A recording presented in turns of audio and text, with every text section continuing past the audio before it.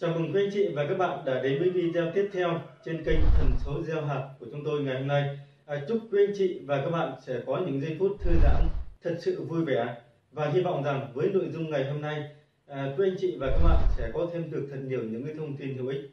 Và trong nội dung chính của video ngày hôm nay, xin mời quý anh chị và các bạn chúng ta sẽ cùng tìm hiểu về nội dung như sau. Người tuổi tốt chọn tuổi nào trong nhà năm canh tí 2020 giúp cho chủ phát tài phát lộc nhà sông đất là một nét đẹp của người Việt Nam chúng ta. Tết canh tí cũng đã sắp đến rồi. Và chúng ta hãy cùng tham khảo cái cách chọn tuổi sông đất tốt cho nhà mình. Sau đây từ xưa đến nay thì ông cha ta có cái quan niệm rằng nếu người khách đến thăm nhà đầu tiên hay được gọi là người sông đất ấy, và nếu hợp tuổi thì cả năm đó gia chủ sẽ được may mắn và thành công trong nhiều chuyện. Chính vì thế mà mỗi nhà đều cố gắng lựa chọn người sông đất hợp tuổi của mình nhất. Thì chúng ta biết rằng là chọn tuổi sông nhà năm mới thường là người mạnh khỏe sợi lợi thành đạt. Thì đồng thời là người có tuổi hợp với năm, ngày sông nhà và cái tuổi của gia chủ. Trong các cái video trước thì chúng tôi đã giới thiệu về cách tính tuổi sông nhà năm 2020 hợp với năm và ngày sông nhà. Tuy nhiên thì đối với từng gia đình, cơ quan, doanh nghiệp thì người trong nhà còn cần hợp với tuổi gia chủ mới thật tốt. Vì vậy mà chúng tôi tính toán và tổng hợp lại các cái tuổi tốt trong nhà hợp với năm mới, ngày trong nhà mùng 1 và mùng 6 Tết và từng tuổi gia chủ để bạn dễ tra cứu. Và chúng tôi cũng tính luôn cả tuổi tương đối tốt ở trên cái mức trung bình cho hai cái ngày mùng 1 và ngày mùng 6 Tết canh tí năm 2020 để các bạn à, được một cái sự lựa chọn dễ dàng hơn. Và này riêng về tuổi gia chủ thì chúng tôi chỉ tính tuổi tốt. Nếu người nào không tìm được người tuổi tốt chỉ cần loại trừ người tuổi xấu như can, chi, xung khắc là được. Mặt khác thì chỉ cần người xung đất hợp với năm, ngày hoặc tuổi gia chủ đã là tốt rồi. Nếu được đủ các cái yếu tố trên thì lại càng tốt nữa. Bây giờ chúng ta sẽ cùng xem cái tuổi trong nhà ngày mùng 1 Tết năm canh tí 2020 cho người tuổi tuất. Thứ nhất đấy là cái tuổi khá ở trên cái mức trung bình. Thì gồm có các cái tuổi sau đây. Đinh Mão 1987, Đinh Tỵ 1977, Mậu Tý 1984, rồi Mậu Dần 1998, rồi kỷ Mão 1999. Rồi Kỷ Tỵ 1989, rồi Canh Tý 1960 rồi canh dần là 2010 ờ, thiên các tuổi của hàng can là giáp, bính, tân, quý và hàng chi là ngọ và dậu. Ừ, còn trong cái ngày mùng 1 thì có các cái tuổi tốt các bạn cần lưu ý đặc biệt như sau thì gồm có nhâm dần 1962 ất tỵ 1965 đinh mùi 1967 mậu thân 1968 canh tuất 1970 thì nhâm tý 1972 ất mão 1975 kỷ mùi 1979 canh thân 1980 nhâm tuất 1982 thì ất sửu 1985 mậu thìn 1988 nhâm thân là 1992 ất hợi 1995 Đinh Sửu 1997, Canh Thìn năm 2000, Đinh Hợi 2007, Kỳ Sửu 2009, Nhâm Thìn 1900, Nhâm Thìn 2012, Ất Mùi 2015, Mậu Tuất 1958, Kỷ Hợi 1959.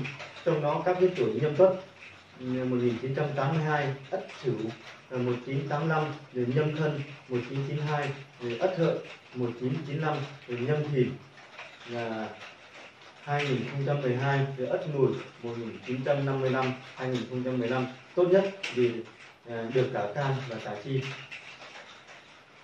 Còn đối với những ngày mùng 6 Tết thì có các cái tuổi khá và tuổi tốt như sau. Ở cái tuổi khá thì có các tuổi sau, người canh tí, canh tuất, nhâm tí, nhâm tuất, tân mão, tân mùi, tân dậu tân hợi ừ, quý mão.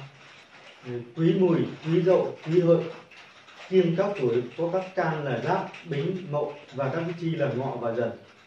Còn à, đối với tuổi tốt để trong nhà để cho người tuổi tuất trong cái ngày mùng 6 thì gồm có là tân sửu, ất tỵ, đinh mùi, quý sửu, ất mão, đinh tỵ canh thân, ất sửu, đinh mão, kỷ tỵ nhâm thân ất hợi, đinh sửu và canh thìn tân tỵ ất dậu, đinh hợi kỷ sửu nhâm thìn quý tỵ ất mùi và đinh dậu trong đó thì tuổi ất tỵ 1965 đinh tỵ 1977 ất sửu 1985 đinh sửu 1997 là tốt nhất vì được cả can và cả chi bây giờ chúng ta sẽ cùng xem tuổi tốt hợp gia chủ, tuổi tốt theo từng cái bây giờ chúng ta sẽ cùng xem tuổi tốt hợp gia chủ, tuổi tốt theo từng tuổi một, đấy là những cái tuổi nào?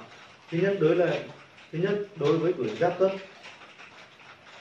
thì giáp, khắc mậu và canh hợp kỷ như vậy là các tuổi hợp là gồm có ất mão, đinh mão, kỳ mão, tân mão, quý sửu giáp dần, bính dần, rồi nhâm dần.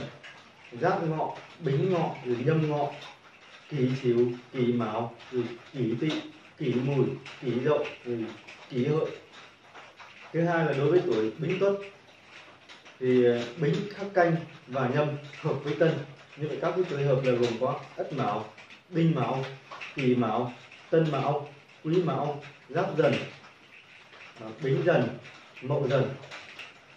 Giáp ngọ, bính ngọ, mậu ngọ, tân sửu, tân mão, tân tỵ tân mùi, tân dậu, tân hợi. Thứ ba là mậu tuất mậu khắc giáp nhâm và hợp với quý. Các phối hợp là gồm có ất mão, đinh mão kỷ mão, tân mão, quý mão, bính dần, mậu dần, canh dần, bính ngọ, mậu ngọ, canh ngọ, quý sửu quý mão, quý tỵ, quý mùi, quý dậu, quý hợi. Thứ tư là canh tuất, sinh năm 1970 thì canh khắc bính, giáp và hợp với ất thì các cái tuổi hợp là gồm có ất mão đinh mão kỳ mão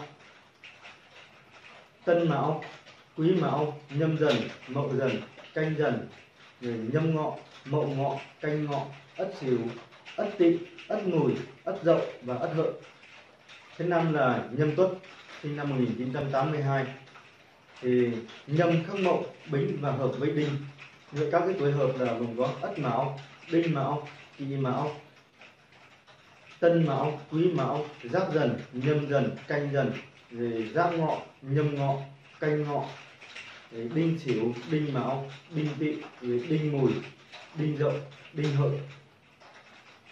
Vâng quý anh chị thân mến, trên đây quý anh chị và các bạn đã cùng chúng tôi tìm hiểu về các cái tuổi hợp đối với người tuổi tuất để chọn làm cái tuổi xung nhà trong năm à, mới 2020 này và mong rằng thì qua cái video này các bạn đã biết được ai sẽ là người phù hợp để đến trong đất đầu năm cho gia đình của mình rồi và chúc các bạn và gia đình của mình sẽ có một cái Tết vui vẻ và tràn đầy hạnh phúc gặp nhiều may mắn xin được cảm ơn quý anh chị và các bạn đã theo dõi video của chúng tôi. Nếu có bất kỳ băn khoăn hay thắc mắc gì, à, xin quý anh chị hãy ghi rõ rồi để lại lời bình luận bên dưới của video. Ban biên tập sẽ phản hồi lại các bạn trong thời gian sớm nhất. Nếu các bạn là những người lần đầu tiên đến với kênh Thần số gieo hạt hoặc những ai còn chưa đăng ký kênh thì hãy hoan hỷ đăng ký kênh để ủng hộ ban biên tập của chương trình. À, sau đó hãy nhấn vào tín hiệu chuông bên dưới của chương trình để không bỏ lỡ những video hay nhất và mới nhất từ ban biên tập. À, chúc quý anh chị và các bạn có những ngày tháng luôn vui vẻ, bình an và gặp nhiều may mắn. À, xin chào tạm biệt và hẹn gặp lại các bạn trong những nội dung tiếp theo của chúng tôi.